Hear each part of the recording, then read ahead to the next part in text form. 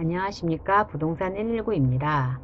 오늘은 성남시 2030 도시기본계획에 대해서 얘기해 보고자 합니다. 성남시는 2030 성남시 도시환경 정비 기본계획안이 3월 20일부터 4월 3일까지 총 15일간 주민공람을 실시했으며 이를 토대로 5월 27일 2030 성남시 도시주거환경 정비 기본계획을 고시했습니다. 기본계획은 도시주거환경정비법 제4조에 따라 10년마다 수립하고 5년마다 타당성 여부를 검토해 반영합니다.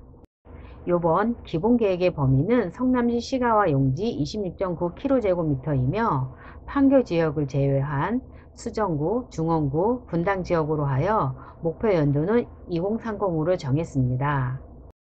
큰 틀을 보시면 성남시 구시가지에서 재개발 5곳과 재건축 11곳이 정비 예정 구역으로 발표했으며 분당은 야탁과 서현, 구미의 3개 권역으로 나눠서 특성화를 시킨다는 내용입니다. 성남 구시가지 정비계획으로 지정된 곳입니다. 수진 1동, 신흥 1동은 1단계로서 2020년까지 정비계획을 수립할 것이고 태평 3동, 상대원 3동, 신흥 3동은 2단계로서 2022년까지 정비계획을 수립한다는 내용입니다. 여기에 2020년에 계획했던 진행되었던 미도 아파트도 1단계 재건축 사업으로 2020년까지 정비 계획이 수립될 예정입니다.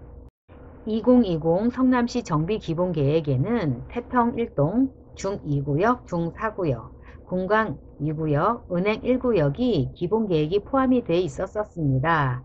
그러나 이번 계획에서 해지가 되었습니다. 이 지역 주민들은 다른 방향으로 개발 계획을 모색해 봐야 할 듯합니다. 2030 기본계획에 포함된 재건축 지역입니다. 단대동은 성경 농골이 있으며 상대원은 삼익 성경아파트 일성아파트 신흥동은 한신 두산 청구아파트가 포함이 되었습니다. 금강동은 삼익 금강 1차 황석마을이며 성남동은 성남현대 등 총 11곳입니다. 요만큼은 성남구시가지 발전 방향이었습니다. 다음은 분당입니다. 1기 신도시 개발로 시작된 분당은 현재 공동주택인 경우에는 61.2%가 준공이 된 지 22년이 넘었습니다. 오는 2030에는 85.9%가 아파트가 준공된 지 30년을 도래하고 단독주택인 경우 34%가 준공 후 22년이 경과했으며 2030년에는 98.5%가 준공 후 20년이 도래합니다. 분당시가지 발전 방향입니다. 계획 도시로서 분당 지구 단위 계획을 유지하여 쾌적한 주거 환경을 보전하고 분당 지역이 전략 사업 추진을 통하여 도시 주거 환경 정비를 촉진하며 자족 기능 제고 및 일자리 창출을 위하여 생활권별 특화 발전 방향을 제시했으며 생활권 특성 및 균형을 고려한 생활 인프라 시설을 확충합니다. 분당 시가지 발전 방향을 다시 정리해보면 야탑중 생활권은 교통을 중심으로 서현중 생활권은 친환경 주거 생활권으로 구미 생활권은 바이오 헬스 특화밸리로 나눠서 개발하겠다는 내용입니다. 이번 발표를 보면 성남구시가지는 재개발이 2020년부터 진행된 거라 크게 이슈화된 것은 없었습니다.